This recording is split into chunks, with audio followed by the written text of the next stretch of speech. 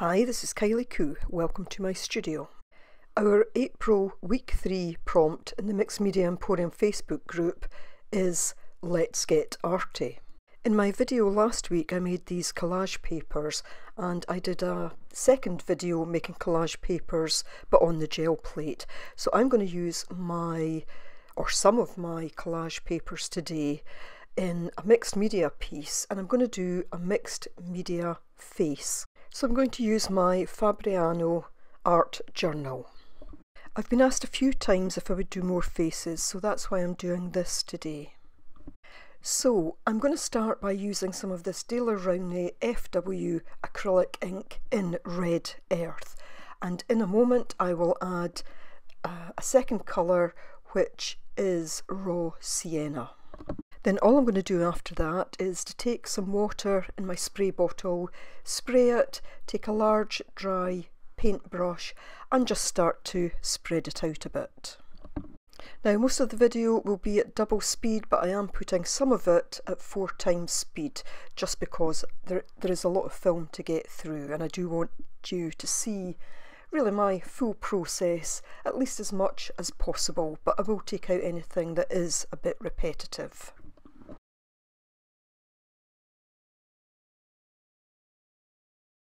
Once that's done, I dry it with the heat tool, and then what I do is to go through my collage pieces and start to pull out just a few pieces.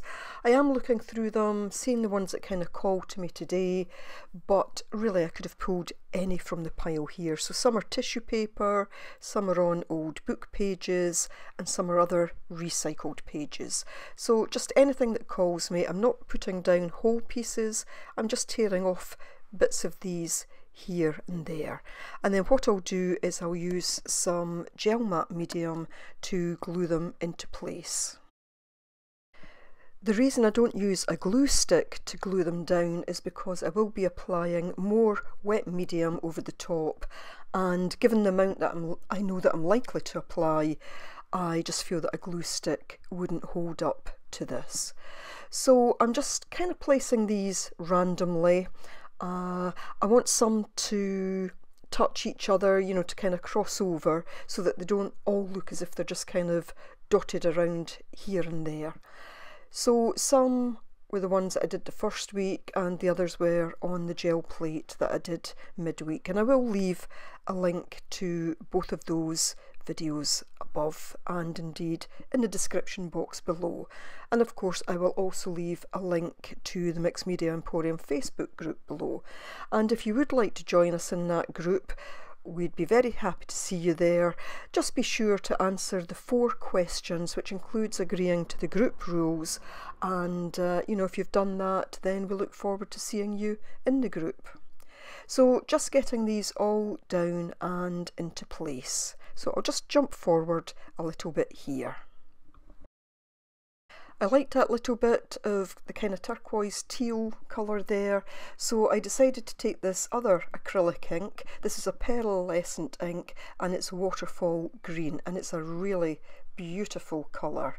I really like this. And all I'm going to do is to dot it about the kind of top of the page. And again I'm going to spray it with my water bottle just to get it to run a little bit. But I will also dab it out a bit. Because it's a kind of pearlescent it sits quite thick where the uh, drop of ink has actually landed. So I'm looking at my page, I'm going to use this graphite stick and I'm going to sketch out a face on my page. But what I want to do before that is just show you very quickly the basic principles of drawing faces. You can start in different ways, but basically you have your kind of oval shape for your head. If you draw a horizontal line across the middle of your head, that's where the eyes will sit. Divide that bottom bit into half again, that's where the nose will roughly sit, and divide that bottom portion in half again, and that's where the mouth will sit. Now, the eyes, if you imagine a third eye in the middle, your eyes, you know, those three would be roughly the same size. So If you were doing whimsical, sometimes you'll see the eyes much further apart. The nose, as I say, sits on that line, the middle of the mouth on the next line, and I like to put in a little bit of chin. You can then start to put in the top of the eyelid and the eyebrows above that. The ears, I've probably got them a little bit high here, but usually about halfway down the eye to the lower point of the eye, down to round about the mouth and uh, of course you have your your iris your pupils etc now a lot of people draw very thin necks and that's fine. You know faces can be very stylized. And the face that you'll see me doing today is very stylized. The hair you know will normally sit a little bit above the top of the head and of course depending on the hairstyle it may come forward and onto the forehead. And the neck as I say a lot of people tend to draw them quite thin. Uh, it is just one way of doing it. I tend to draw mines a little bit broader than that. So those are the kind of basic principles but you can start in a different place just by, for example, drawing the eyes or the nose. I will often start by drawing the eyes. Obviously, you can add character depending on the way that you put the eyebrows. A good thing to, to look at to check expressions is actually cartoon characters. And what I'm showing there is you know, if the light is coming full on, you'll have areas where the light will naturally hit. And I'll try and talk you through that in more detail with the one I'm going to do on my page here. Now the graphite stick doesn't show up very well, but I will leave it. And again, I'll go back to a bit faster on this bit now. So that piece of collage with the black blob on it basically led me to place an eye there and there was almost a mark left by where some of the ink had dried where I thought that looks like that could be the other eye there. So I started with the eyes for this. You will see as I go along I kind of adjust things a little bit but today on this face I am working very intuitively. So this is very much a stylized face. I'm not looking to necessarily create what I might call, in air quotes, a pretty face. It's just something that, you know, what will emerge will emerge kind of thing. So I've got here some Pebeo uh, titanium white paint. Just going to mix it with a little bit of water. I don't want it too thick and I'm just using the palette knife to kind of block in the face just with a bit lighter colour and you'll see I go to use my fingers my hands as well and this is just to start so that I can actually see what I'm working with I take a little bit of that off because I want some of the collage to hopefully show through by the end. So I'm going back to the inks that I used. I'm just going to use this from time to time to add a little bit of colour. But as I say, this will be very stylised as you may have seen from the thumbnail and certainly by the time you get to the end you'll see how stylised it is. I'm now going to take some Pebeo in Mars Black and I'm basically just going to use that to put the features in. And you'll see at some point later on I actually, I think I adjust the nose a bit. I think the thing about this type of painting is that it doesn't actually matter if everything is in the right place. I am not trying to make this perfect in any way. In fact, I couldn't make it perfect.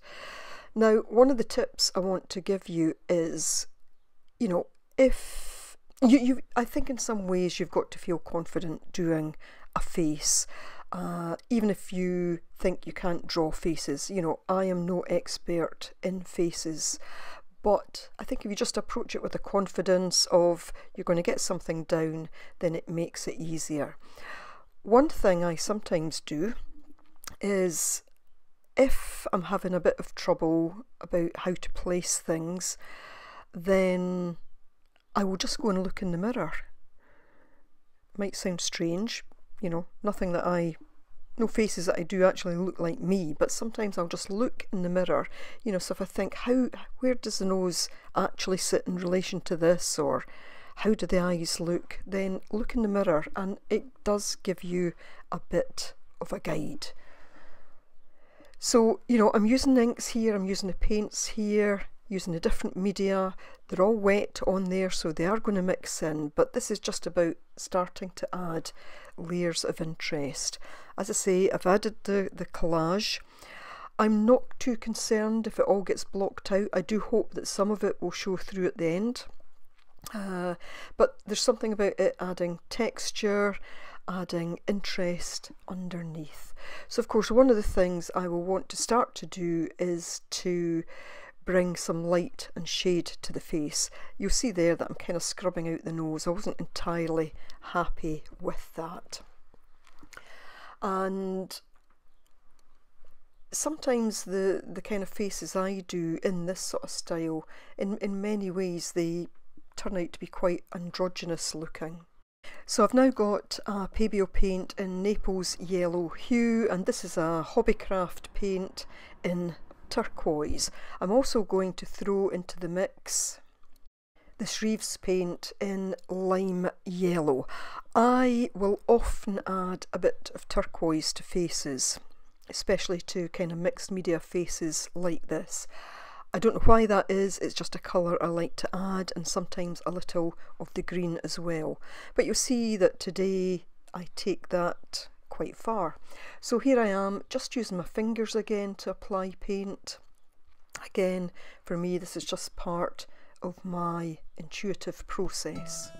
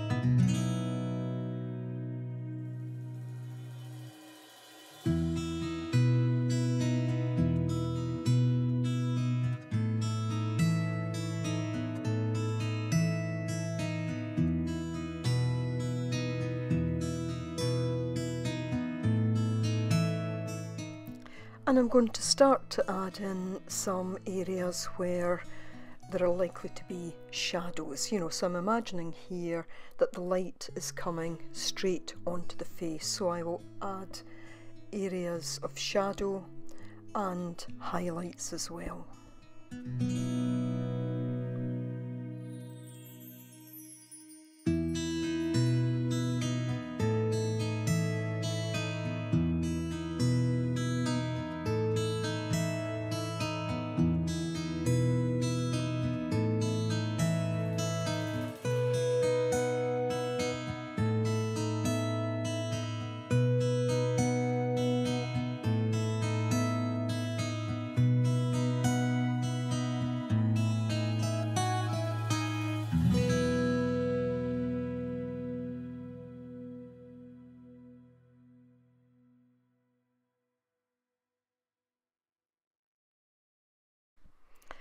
Liked that that first piece of collage paper that had the blob on it that became an eye. I, I quite liked it that that was quite dark, so I decided that I'm not going to make it entirely the same as the other eye. Here I draw in ears, I think I actually end up putting them at different heights, that's okay. You know, as I say, this is stylized, it's uh, it does look like a face, but it's not uh, a standard sort of portrait. Also starting to add in a bit more colour around the back here, just filling in some of those white gaps. And again, I just keep working back and forward on the face. Sometimes adding, there's some of the highlights going in, you know, so recognising where the light will be hitting, which is normally the parts of the face that stick out that bit more. So the forehead, the bridge of the nose, the tip of the nose, the cheeks, and uh, sometimes the lips, making it a bit darker under the chin because again there'll be a bit of shadow cast by the chin. So now I've got this Reeves, it's called Flesh, this colour. It's quite a kind of mm, almost a pink colour and I just wanted to introduce a little bit of this where I feel that I needed a bit of pink and of course you'll see me from time to time actually drying off before I add more on. Now I'd mix some of the pink with the white there. It's still mixing a little bit with what's on the actual page itself because I don't dry them fully. You'll see that I come back time and again to just kind of add in darker spots. I quite like with a, a lot of the kind of face paintings that I do to make around the eyes quite dark. Uh, I guess that's just one of my styles that, that I like to adopt. And uh, yeah, so it's very much a case of going back and forward. So again, I'm going to leave you with a little bit of music and come back in at any point where I think I have something more to, to offer by way of, I guess, advice on how to approach this if this is something that you want to hear.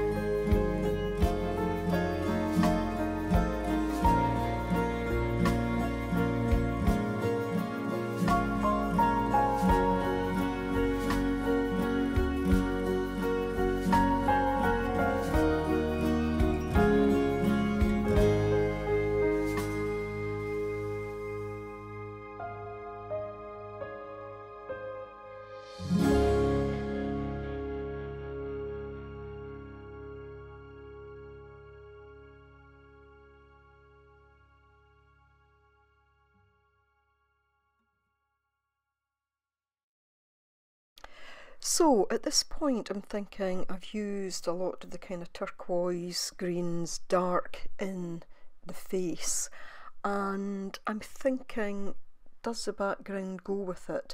Looking back on it and looking at it now I'm thinking that it probably did but I felt that I needed to add some of the kind of turquoise and green to the background.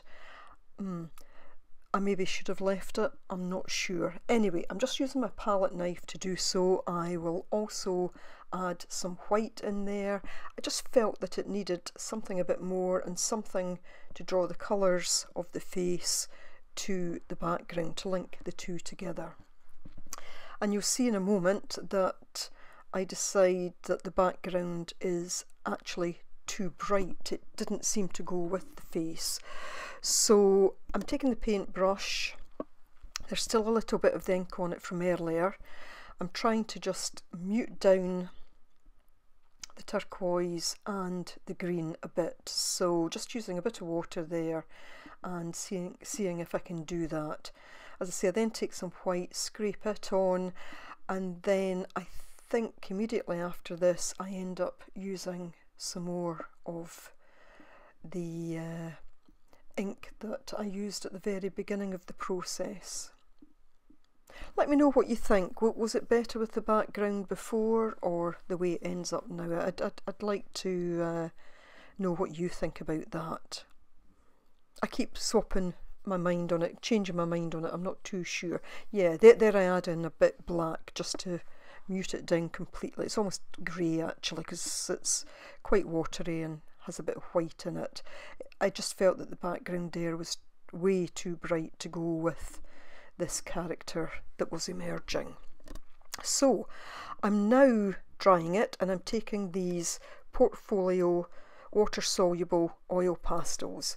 These work great on top of acrylic paint. And I'm just going to use a few colours. I felt I needed to define uh, the kind of outline a bit more so I'm using this dark I think it's a blue violet. I'll use some greens some grey slate grey and just trying to bring a bit more definition.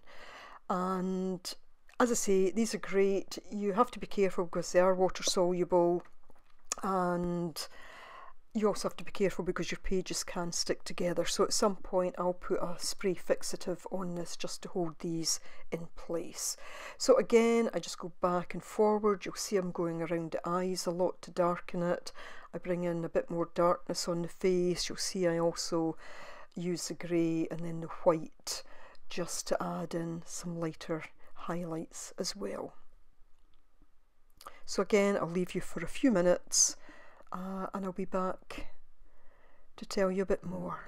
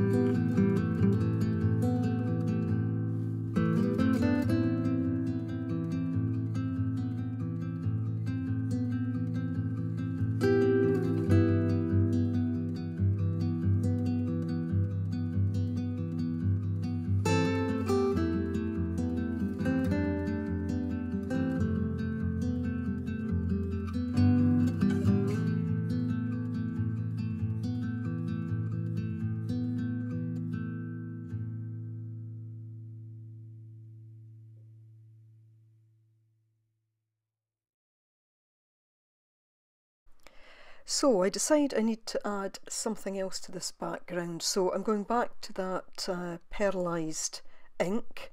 Again, just adding some, I suppose, some drippage. I'm going to take the spray bottle. I'm going to cover the face a bit because I don't want to move the uh, soluble wax pastel at all. So just going to let that drip down a bit. And I, I do feel that this starts to bring the background and the face together. Interesting for me anyway, looking at the face, just looking at it from that different angle. I quite often draw faces quite long when I'm drawing this way. If, if I've got it up on an easel, it's a bit different, but this way I tend to draw them a bit longer. Just saying a bit here about when you're drying, you have to be careful because you can melt the wax. Now, two Liquitex inks here, muted turquoise and muted green. I just wanted to add them to the background as well. The other thing about using uh, wax pastels is if you go onto the page behind this and you try to heat it, you are in danger of melting the wax on this side as well. I've done that before where I've just forgotten that I've used wax pastels.